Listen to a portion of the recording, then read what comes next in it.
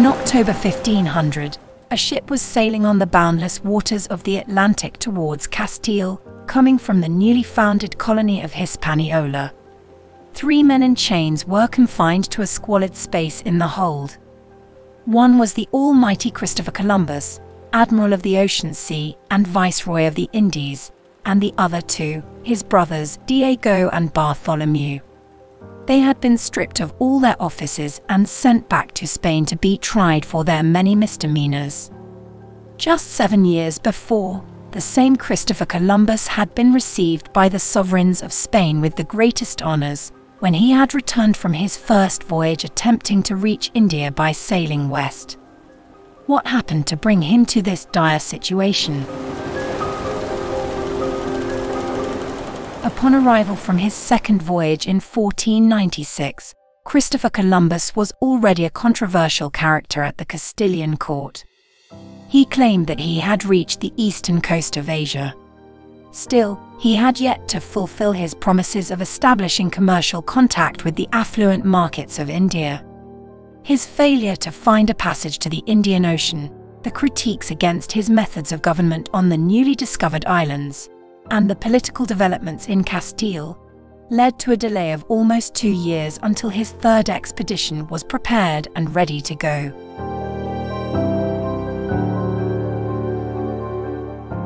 Meanwhile, his brothers Diego and Bartholomew were left in charge of the development of the new colony of La Isabela. The settlement, built in an unhealthy environment and without a decent harbour, was not thriving as the colonists expected. The situation worsened with an outbreak of syphilis that killed 100 of the 160 of those infected. The 400 men who were meant to form the colony's backbone started to roam the island, aiming at exploiting the indigenous population. In exchange, the islanders, seeing now clearly that the invaders were there to stay, set traps for them and killed them at any opportunity. On the other hand, their chieftains had lost prestige by being forced to pay tribute in gold and cotton to the invaders, and the people were tormented by the hard work that was imposed upon them. One year passed with no news from Columbus. The colonists felt forgotten and abandoned. Food was scarce because the crops planted according to European style yielded little, and the Spaniards were constantly harassed by the natives, who hid in the most inaccessible parts of the island.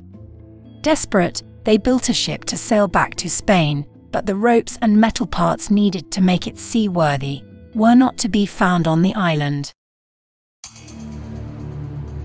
This set up a conflict between the Columbus brothers and Francisco Roldan, the Alcalde Mayor or Chief Justice, who was sympathetic to the colonists' cause he accused the brothers of intending to sail back to Castile by themselves.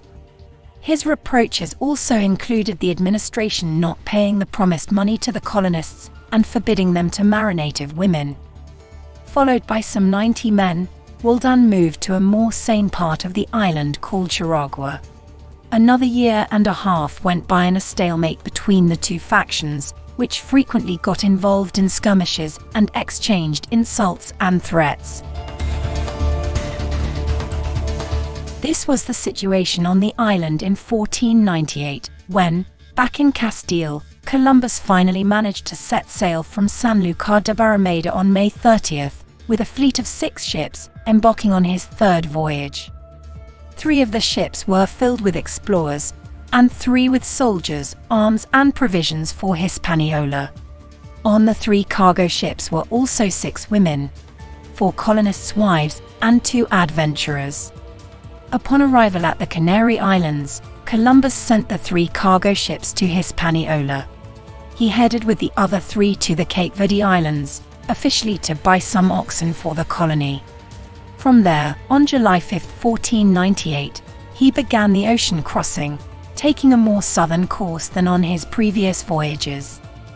According to his calculations, this course would take him to a region closer to the equator, where he thought the source of the precious eastern commodities was.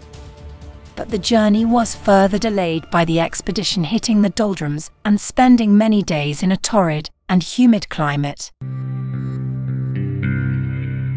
According to the account of the admiral's son, Hernando, who accompanied his father and was just a teenager then, they thought they would be burnt alive together with the ships.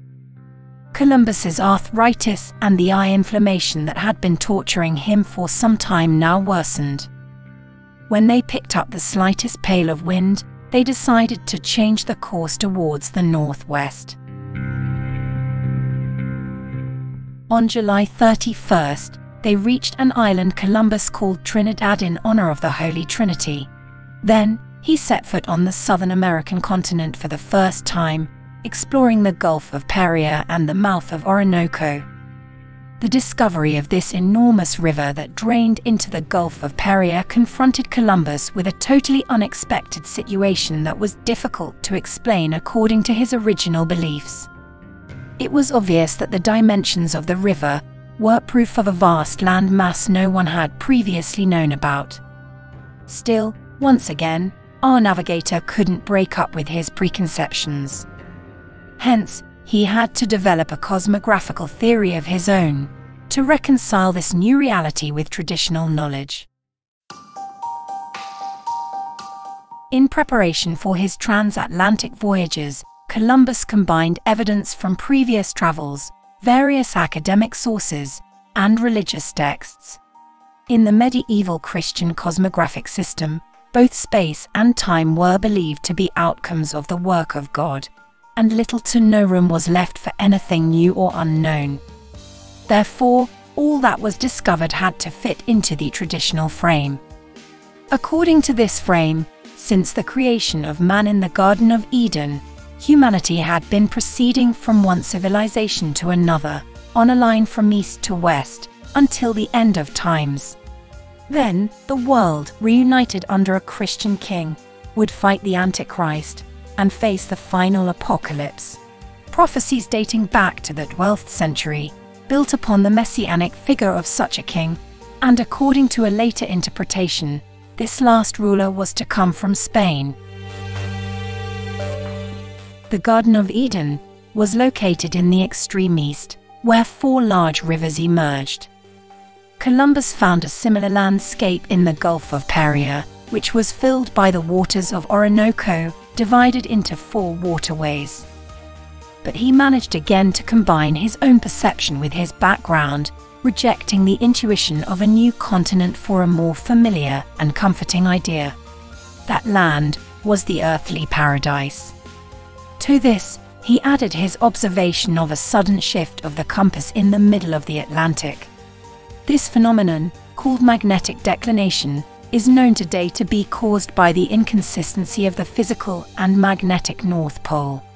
But back then, it led Columbus to conclude that Earth was not a perfect sphere, but instead had the shape of a pear, with a bump corresponding to the location of the paradise. However, a passage towards the actual markets where the riches of India were traded was nowhere to be found so the three ships finally headed to Hispaniola, where he had left his brothers in charge of the colony. The seat of government had been moved to the southern coast, where the city of Santo Domingo had been founded in 1496. The situation was grim. The settlers were in full rebellion against the Columbus family rule, and the three ships with provisions sent from the Canaries had not yet arrived. They reached the island only at the beginning of September, but they couldn't find Santo Domingo, and they landed precisely at Charagua, where Francisco Roldan and his rebels were settled. Roldan claimed he was Columbus's friend, and, before the captains of the three ships acknowledged the real situation, he managed to get from them crossbows and swords, paying with gold taken from the islanders. Also, 40 men deserted the crew and joined Roldan's party. Eventually, the ships made it to Santo Domingo, but by then all the provisions were rotten.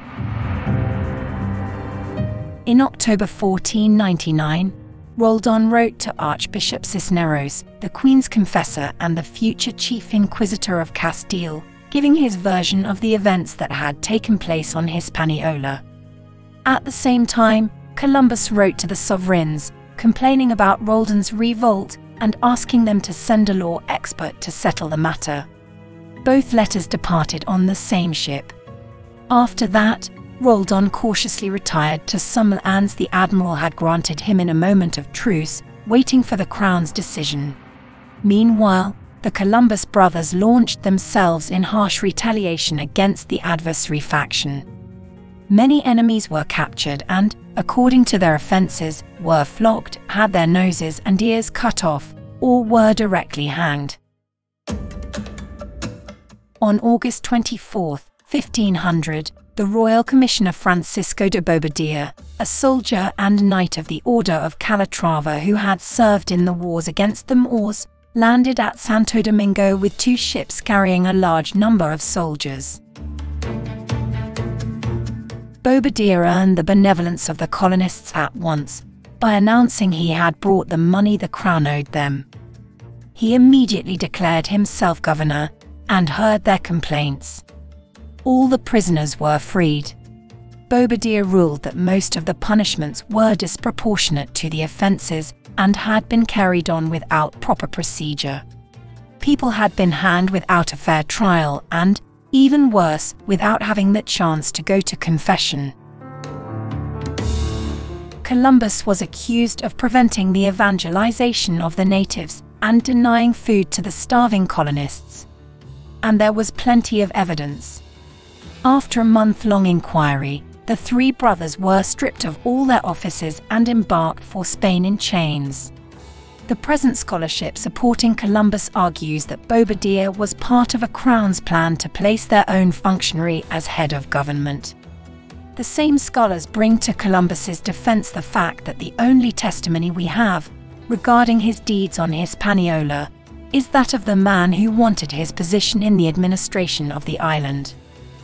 One way or another, following the accusations of incompetence and sheer brutality that had been raised against him, the monarchs didn't take the risk of appointing the admiral to an administrative office ever again. In late October 1500, Columbus arrived in Cadiz after writing a long letter to the sovereigns during the return journey. Partly explanatory, partly exalted, almost mystical, the letter describes the humiliations and sufferings he had endured along with all the signs he had found that proved beyond doubt that he had located the earthly paradise. He convincingly argued that finding the gold and wealth of the East was just a matter of time. The monarchs ordered his release and granted him an audience one month later. They recognized that, although he was an unsatisfactory governor, he was an excellent navigator and explorer. So, they officially released him from the post of governor of Hispaniola, forbidding him to set foot on the island again. Still, they authorized another journey, probably thinking it was a good solution to a delicate matter.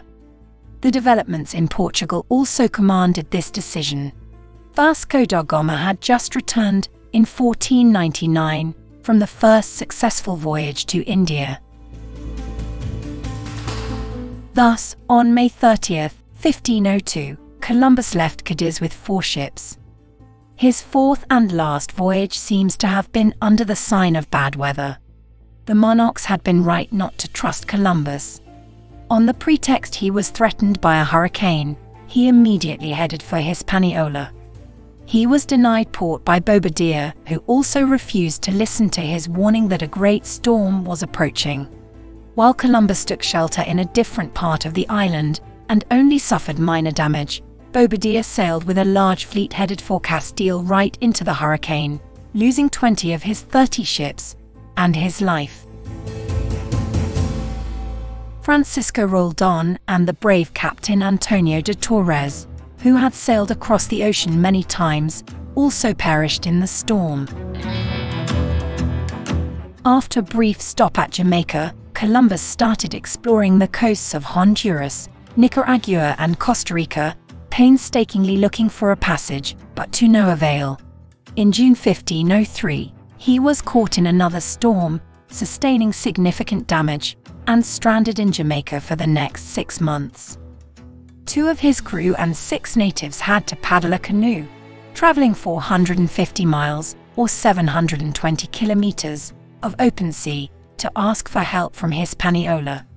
But once they got there, the new governor, Nicolas de Ovando, who detested Columbus, postponed his rescue until June 1504. The fleet finally returned to Sanlúcar on November 7th.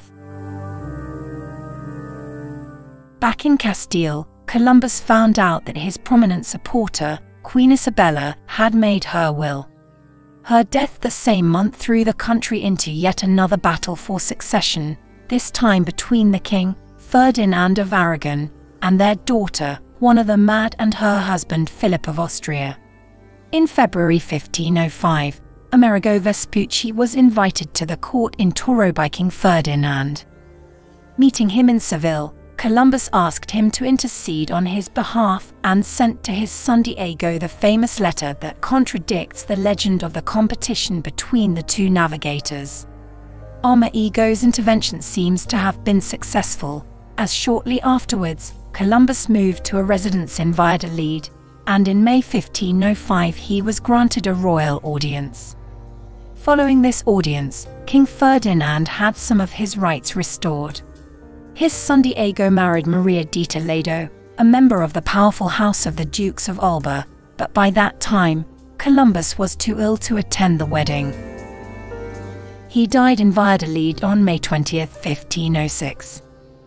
If you want to find out about the mystery surrounding the location of his tomb and the fantastic journey of his remains across the next few centuries, please join me for the next video.